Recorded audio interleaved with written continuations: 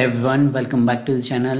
In this video we will talk about schedule trigger. So in our previous video we discussed how do we run the pipeline with the help of trigger but that was a manual trigger. Remember when you go to the pipeline you have an option to execute your pipeline or trigger your pipeline manually. But what if you would like to execute a pipeline on a particular schedule. For an example, the pipeline should be executed every 10 minutes, every 15 minutes, or once in a day, once in a month, bi-weekly.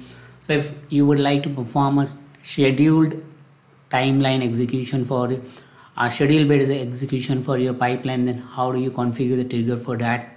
This is what we are going to look at in this demonstration. So I'll be using the same pipeline which we have provisioned in the last demonstration. So if you have not visit the last demonstration then I will recommend that you follow the other video which we have published it previously. Now as this is our pipeline right now uh, which is performing the copy activity like I mentioned in the previous video you can trigger this pipeline once I trigger the pipeline that will basically trigger it and the actual run you can view it here in the monitoring section. So the number of instances you perform for the pipeline that will be visible here in the all pipelines you can see that my previous one which we have demonstrated in the previous run that was visible here but the new instance which I have just now triggered from the pipeline is visible here. Now here you can perform multiple options like you can stop a pipeline or cancel a pipeline which is then getting executed in case if you want to cancel it due to some reason you can straight away cancel it right? And that will give you an option like do you want to cancel it or not? Now coming back to the objective how do you want to perform the trigger based pipeline? For that you have to first of all specify the trigger. Now to specify the trigger there are two options. You can go to the manage option right? And from the manage you have the author and then you have the trigger option. From here you can create a trigger let's say create a trigger for a pipeline. Let's say trigger we are going to call it run every minute right? That's the trigger option I've given. So now this is a trigger type which is a schedule type by default. There are other types as well like tumbling window storage event custom event. We'll talk about those but in the separate video. But for this we are talking about time based triggers. So let's say that this is our schedule which we want to define the schedule start time which is going to be when the schedule should be applied on the pipelines right? So the schedule can be applied right from this particular time which is start time the time zone for the schedule time and then the recurrence of the schedule like I mentioned it a recurrence we need is every minute. So I'm going to say every minutes. If you would like to perform any other recurrence like every hours days weeks months you can specify that recurrence right here.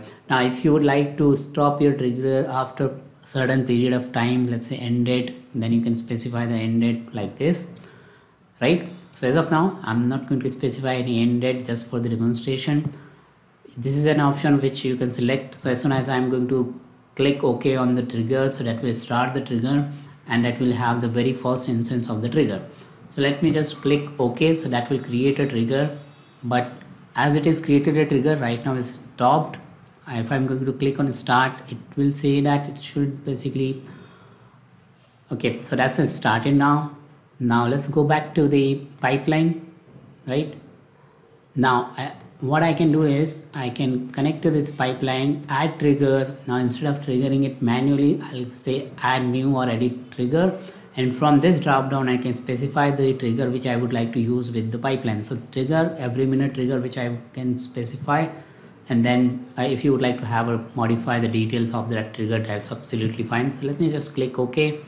So now as I was expect, uh, expecting this trigger will not be applicable to this pipeline unless you publish the trigger. So we have created the trigger, but we have not published the trigger. As you can see that here the publish option is showing that it's still to be published. So let me just first of all publish the trigger or publish the changes in fact, and then we will reapply the trigger to the pipeline. So the trigger is published successfully. Now let's go back to the or add new or edit new options where we have selected our triggers previously. So let's just wait for this trigger to be executed automatically. So as we have already applied the trigger now we'll go to the monitoring section and we'll see that if the trigger is already been executed on the particular time.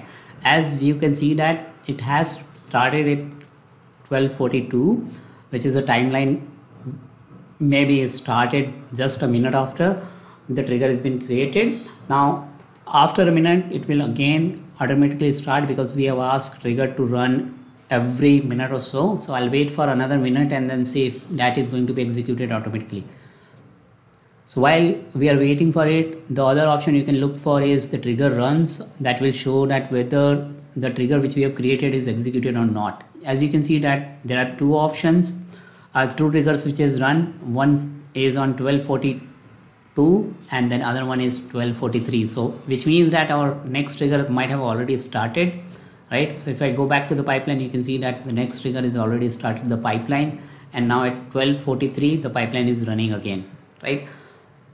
So that's the schedule based trigger.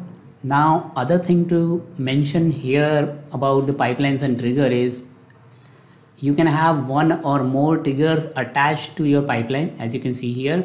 So currently this pipeline has got this trigger which is the trigger of, of the which is a time-based trigger which is running on every one minute. But let's say I would like to attach another trigger to that. So let's say that a trigger which will run on every three minutes for an example or every two minutes for an example.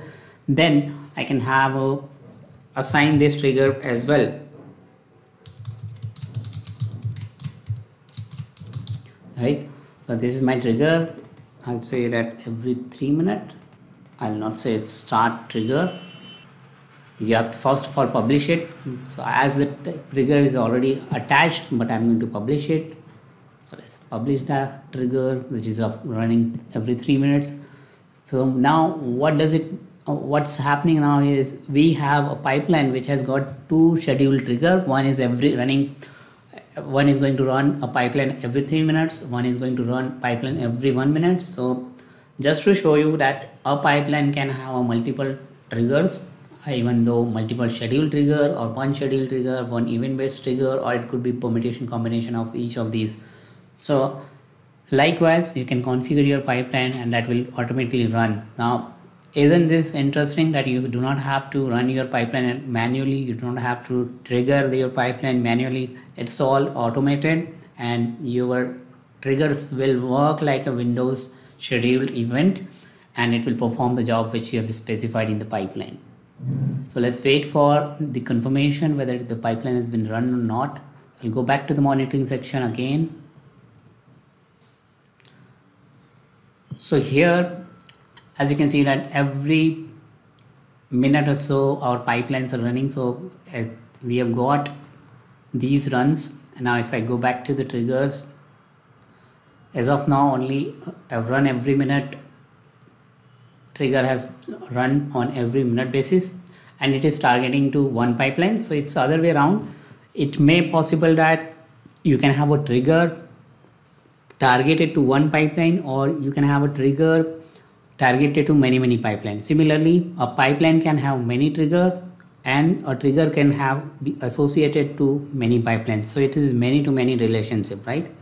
So as of now you can see that this trigger is targeting to this only one pipeline. Similarly the other trigger is targeting to only one pipeline. But like i said you can have an option uh, you have an option to set up a many to many relationship. One pipeline many triggers a, a trigger can have many pipeline associated with that. Right